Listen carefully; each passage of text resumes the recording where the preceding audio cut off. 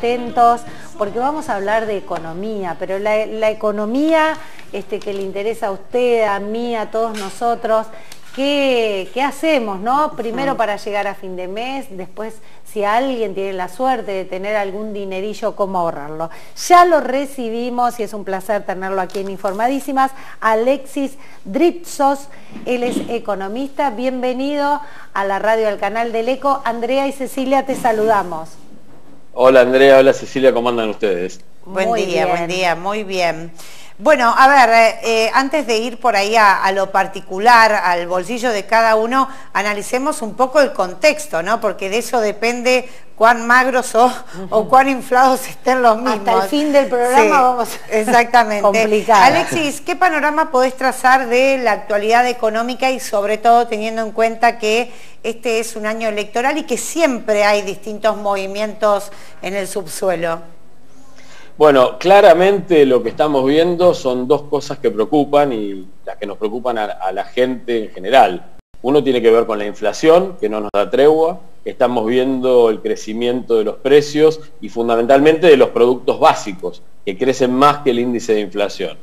El otro tema que nos tenía preocupados hasta el año pasado, que creo que esa es la buena noticia, va a estar un poco más relajado este año, es el tema del dólar después voy a explicar un poco por qué.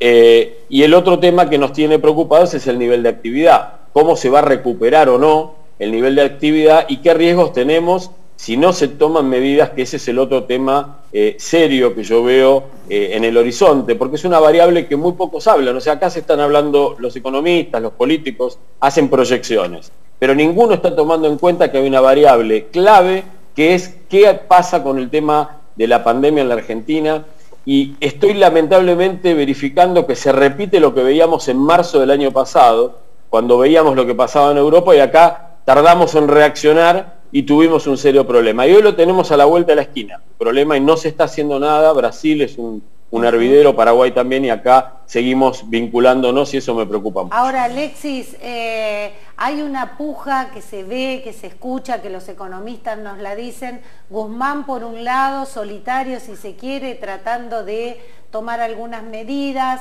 este, hablar con el Fondo Monetario, ver cómo, cómo pueden este, trabajar de la mejor manera, pero por otro lado, como bien decía Andrea, el año electoral, donde siempre en un año electoral se vuelca mucho dinero a la calle, este, maquinita, planes, eh, dinero y dinero, inyectarlo para poder justamente este, marcar un elevamiento en las elecciones. Sí, el, tema de Guzmán es uno de los tres ejes, o sea, hay una cuestión importante en la economía que son las expectativas, ¿no? También, además de los hechos objetivos, están las expectativas. Y hay algunos ítems en materia de expectativas que no están resultando muy favorables. Uno tiene que ver con el manejo del gabinete. Hemos tenido una movida en el, en el, Ministerio de Justicia, en el Ministerio de Salud, producto del, del problema con las vacunas, y tenemos al ministro de Economía que aparentemente ha salido muy airoso en toda la negociación con la deuda privada y empieza a encarar una negociación con el Fondo Monetario, el Club de París, y pareciera que de golpe el propio gobierno le dice que pare, que espere y patean para adelante y esto genera una enorme incertidumbre eh, porque no es algo que eh, parezca muy racional ni muy positivo como señal.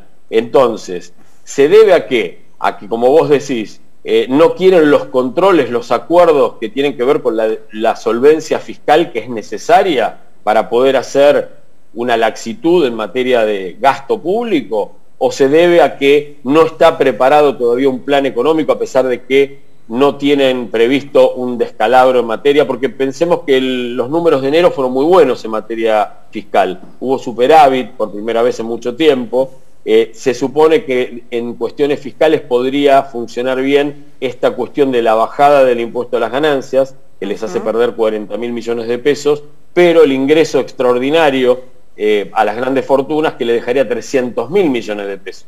Con lo cual es previsible que en materia fiscal esté bastante equilibrada la cosa, pero no se entiende todavía el manejo estratégico y Guzmán pareciera que está batallando un poco solo y no se sabe quién tiene a favor y quién en contra. Alexis, eh, recién cuando comenzabas este, la entrevista decías que hay medidas que no se están tomando en el país, como sí lo ha hecho Brasil Uruguay en relación a la pandemia. Eh, ¿Qué tipo de medidas, teniendo en cuenta que eh, nosotros hemos dialogado aquí con referentes también del sector PYME, han dicho un nuevo cierre, teniendo en cuenta el avance de la pandemia, puede ser devastador para el sector que en líneas generales ya eh, dinamitó ¿no? todo lo que es bueno, la economía de las pequeñas y medianas empresas. empresas. Eh, ¿Por dónde tendría que ir la gestión de la pandemia, considerás?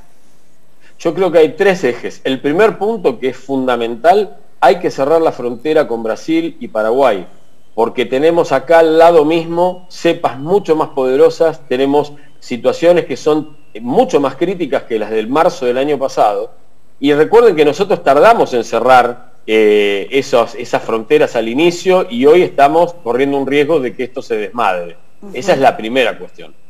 En segundo lugar, me parece que hay que tratar justamente al hacer esto de evitar el cierre de la actividad económica, porque hay un repunte que se está viendo y es muy importante que continúe, pero va a depender muchísimo de que tomemos estas medidas. Y el tercer punto es sensatez en la política de vacunación. Tenemos que conseguir más vacunas, como sea, necesario, si es necesario, yo soy muy en ese sentido, si hay que copiar fórmulas, copiemos fórmulas, hagamos lo que haya que hacer, pero no podemos tener este ritmo de vacunación que diría que vamos a terminar de vacunar a todo el mundo en 18 o 20 años. Es una locura. El tema es que ahí también se cuela lo político en el tema de las vacunas.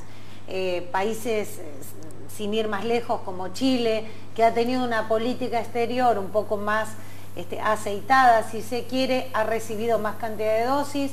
Nosotros estamos como en ascuas y venimos como muy atrasados. Venimos atrasados y por lo, yo no soy un experto en la materia, por lo que he escuchado, parece ser que hay convenios firmados no cumplidos por las propias empresas. Parece que la cuestión de AstraZeneca, en donde había una triangulación con el material que iba a México, se envasaba y una parte volvía acá y otra se distribuía, parece que no está viniendo con lo cual sería razonable pensar por qué la Argentina no retiene esos materiales y los hace envasar acá. También en México recibió una cantidad de dosis impresionantes y nosotros no. Claro.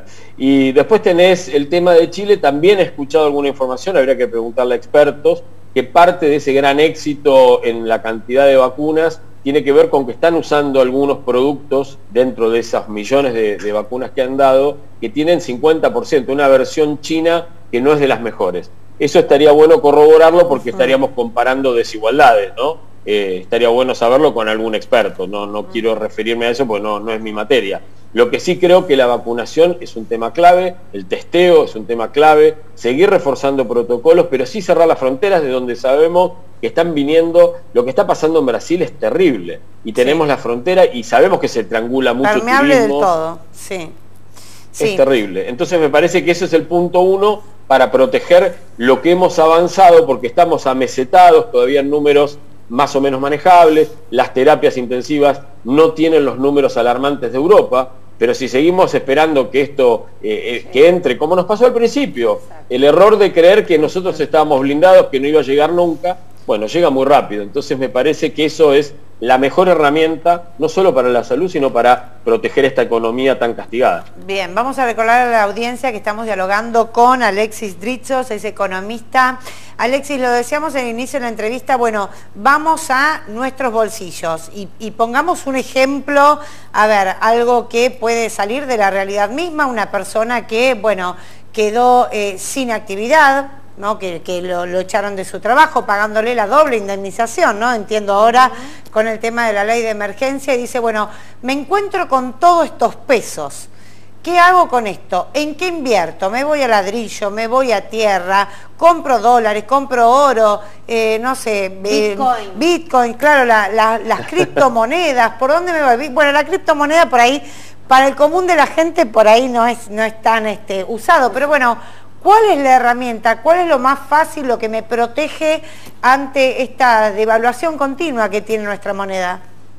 Bueno, lo primero que, hay que aclarar es que hay que pararse de cara al perfil de la persona. No es lo mismo quien tiene todo el dinero que cobró de una indemnización y tiene que estirarlo para vivir de ahí en adelante, que quien tiene un excedente de ahorro y quiere invertir para ganar un dinero extra. Serían situaciones distintas. Eh, la realidad es que también tenemos en la Argentina un componente que es muy importante, que todos tenemos en la cabeza, que es la inflación versus el dólar. O sea, si yo me quedo en pesos, eh, el dólar se me dispara, la inflación me come los ingresos, o si tomo el dólar y de golpe se atrasa el dólar, me perdí de ganar tasa de interés. Digamos que esa es la, lectura eh, principal. Yo no me metería en, por ejemplo, en el caso que vos señalabas como ejemplo, en un activo de ladrillos, porque implica mayores impuestos, mantenimiento, refacciones, etcétera, y por ahí no está el mercado para sacarle renta en un alquiler, que en definitiva es lo que la persona más bajo de toda la historia. Exacto, y además con todos los, eh, componentes. Supongamos que hubiera un inquilino con muy buena predisposición que también pierde el trabajo y no puede pagar, se te complica mucho.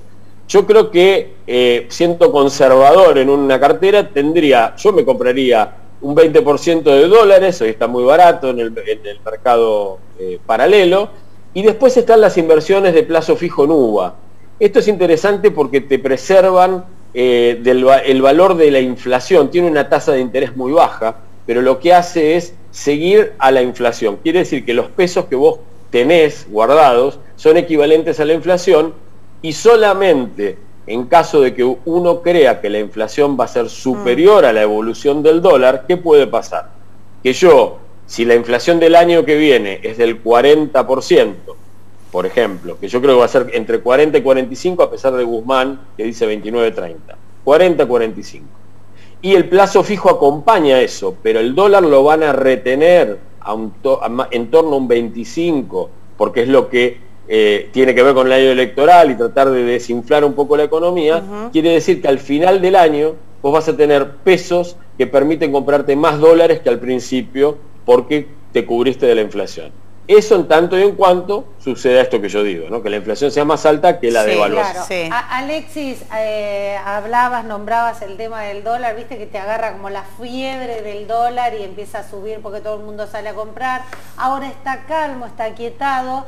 Eh, quienes saben un poco más dicen que está eh, aplanado, aplacado hasta las elecciones y que después, bueno, va, va a subir. ¿Esto puede ser así? ¿Se puede aquietar el dólar? ¿No? Mira, eh, la realidad es que el dólar en la última etapa del año pasado, ¿se acuerdan cuando empezó esta locura que, nos, que llegó hasta 195, el paralelo? Fue terrible. Eh, sosteníamos muchos economistas que no había una razón técnica específica, sino que había una expectativa muy eh, mala en cuanto a la, a la gestión del gobierno y una expectativa que generaba esto técnicamente no era tan esperable que tuviera ese ritmo de devaluación. Y ahora cambió algo a favor y positivamente. Los commodities que vende Argentina han subido muchísimo su valor en dólares. Quiere decir que va a haber una provisión de dólares mucho mayor que la del año pasado. Este año, si despejan también lo del Fondo Monetario, lo del Club de París, no va a haber desembolsos grandes de dólares para pagar deudas por lo tanto van a entrar suficientes dólares, que es un poco lo que está pasando en, los primeros meses del año, para poder pensar en un dólar mucho más tranquilo. Seguramente en, la previa al proceso electoral surge la especulación de, que sube y baja, pero no habría una razón técnica para esperar una constante devaluación como fue en otros momentos en donde había una gran escasez de dólares.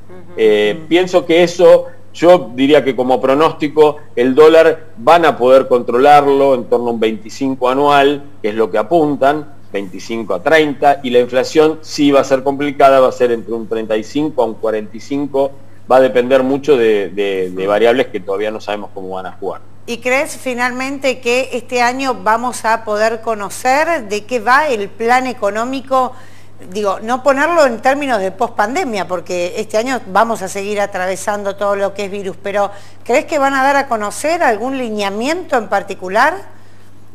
Mira, eh, el gobierno lo que yo creo que, a ver, históricamente lo hemos charlado acá, no, no existen o no han existido gobiernos con planes económicos de lo que yo entiendo que debe ser un plan económico. Se esbozan algunas cuestiones básicas. Este gobierno, ¿qué es lo que ha hecho? Primero, un manejo de deuda. no creen el plan en los No, dijeron que no creen. Eh, lo dijo el presidente, creo que se equivocó Fiero con esa definición porque eh, es un grave error.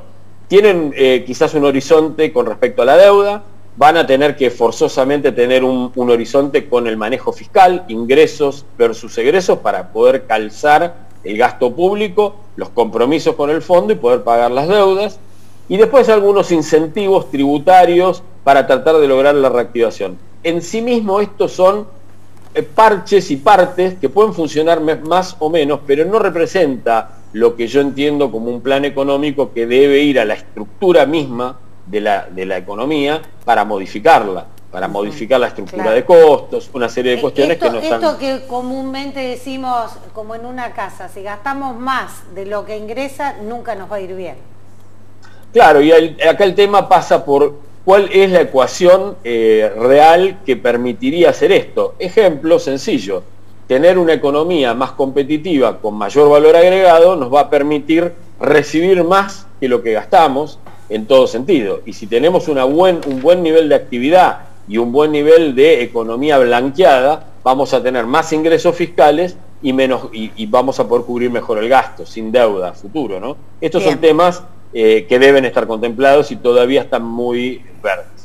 Alexis, te queremos agradecer muchísimo por tu tiempo aquí en la radio y en el canal del Eco en Tandil, ha sido muy amable. No, por favor, muchas gracias. Buena jornada y buen fin de semana.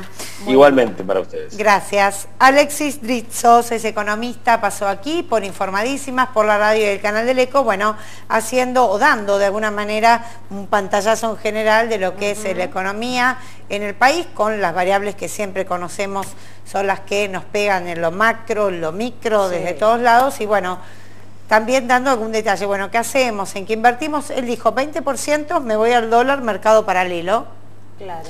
¿no? Porque hoy conviene ahí el 80%, bueno, la posibilidad de hacer un plazo fijo en uvas como para que esa inversión eh, no se vaya devaluando, con lo que mes a mes vemos que es esta inflación que va de a poquito, de a poquito, comiéndose, sí, los pesos. Sí, lamentablemente. Ningún gobierno ha podido contra la inflación. No, no. Ninguno, de, un partido. La fórmula, la teoría está, pero lo que pasa es que la práctica es complicada de, de llevarlo adelante.